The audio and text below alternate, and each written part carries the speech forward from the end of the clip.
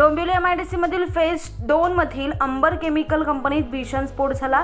या भीषण स्फोटानंतर डोंबिवलीतील आजूबाजूच्या परिसरात धुराचे मोठाले लोट पाहायला मिळालेत घटनेची माहिती मिळताच घटनास्थळी चार अग्निशमन दलाच्या गाड्या दाखल झाल्या.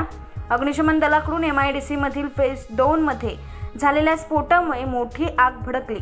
या आगीवर नियंत्रण मिळवण्याचे प्रयत्न सध्या सुरू आहे. सुदैवाने या आगीत कोणतीही जीवितहानी झाली नाही परंतु सहा ते सात कामगार जखमी झाले असल्याची माहिती मिळत आहे. एम आय डी सीमधील फेज दोनमध्ये आग लागल्याची माहिती कळताच परिसरातील लोकांमध्ये भीतीचं वातावरण निर्माण झालं. त्यानंतर नागरिकांनी आपला जीव वाचवण्यासाठी आणि मदत मिळवण्यासाठी धावाधाव सुरू केली. तर या आगीनंतर केमिकल कंपनीच्या शेजारी असलेल्या कंपन्यांना धोका निर्माण झाला असून कंपनी शेजारी असलेल्या इमारतीच्या काचा देखील फुटल्या आहेत. त्यामुळे काचांचा खच देखील पाहायला मिळतोय. घटनास्थळी मंत्री उदय सामंत यांनी भेट दिली. मी आत्ताच इथे पोहोचलेलो आहे. काही अधिकारी आता या संपूर्ण याची माहिती घेत आहेत ते बाहेर आल्यानंतर आपल्याला नक्की काय झालं कसा स्फोट झालेला आहे किती लोक आत आहेत किंवा नाहीत अजून कोणालाच माहिती नाही. परंतु युद्धपातीवर आग विझवण्याचं काम हे सुरू झालेलं आहे. बॉयलरचा स्फोट झाला असं प्राथमिक माहिती मला अधिकाऱ्यांनी आत्ता दिली.